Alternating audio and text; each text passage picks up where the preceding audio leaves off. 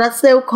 โชว์ความประทับใจเที่ยวกรุงเทพไม่พลาด แชะภาพคู่เสาไฟกินนารี เมื่อวันที่ 22 ตุลาคมรัสเซลโครว์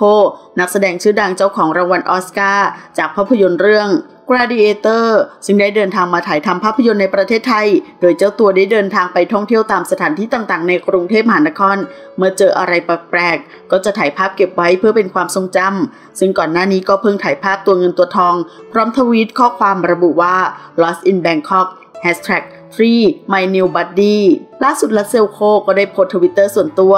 เผยภาพการท่องเที่ยวในกรุงเทพมหานครอีกครั้ง โดยครั้งนี้ได้แวะไปถ่ายภาพสวนริมคลอง ศาลพระภูมิ พร้อมทั้งตู้ปั๊มคลิกหยอดเหรียญอัตโนมัติ แต่รูปที่ทำเอาชาวเน็ตไทยฮือฮาและให้ความสนใจนั้นก็คือ รัสเซลโครว์ได้ถ่ายภาพคู่กับเสาไฟกินนารีทำเอาชาวเน็ตเข้ามาแสดงความคิดเห็นกันเป็นจำนวนมากเลยทีเดียว ขอขอบคุณข้อมูลจากทีนิวส์ขอบคุณค่ะ